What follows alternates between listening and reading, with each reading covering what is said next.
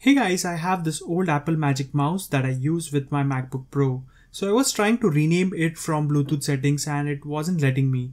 After renaming it, as soon as I turned off Bluetooth or disconnected the mouse by shutting it down, the device name gets automatically reset to the old name. A lot of forums suggested updating or upgrading Mac, rebooting it, and a lot other solutions which didn't really work until I came across this one.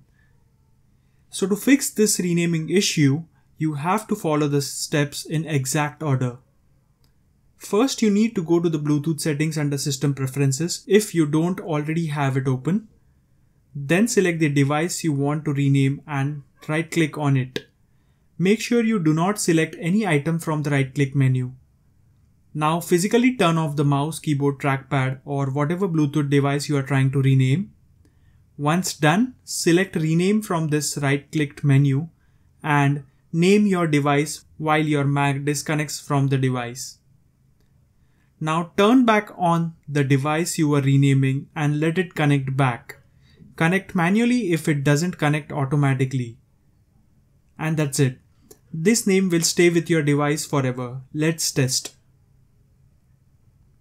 Guys, please hit the like button if I helped fixing your issue and for more tech videos in the future, please subscribe to my channel. Thank you.